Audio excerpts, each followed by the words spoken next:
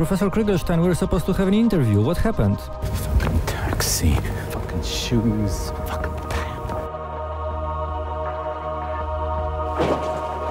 Stop the traffic! Stop it! Fuck! Go away! I don't want to anymore! Don't you see it's all fucked up? 29 minutes! For all of Nietzsche!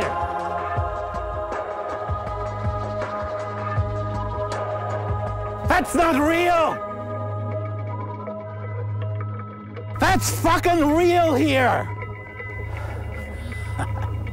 Everlasting life. Stop! Stop the sun!